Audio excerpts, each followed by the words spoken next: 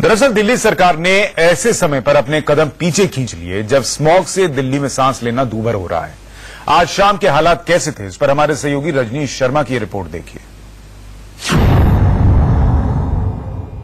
इस वक्त शाम के पौने छह बज चुके हैं और हम मौजूद हैं दिल्ली के धौला कुआँ इलाके में। इस वक्त की अगर वातावरण की बात की जाए तो साफ़ तौर पर जो है आप देख सकते हैं कि चारों ओर जो है धुंध ही धुंध नज़र नज़र आ रही है, कोहरा ही कोहरा है।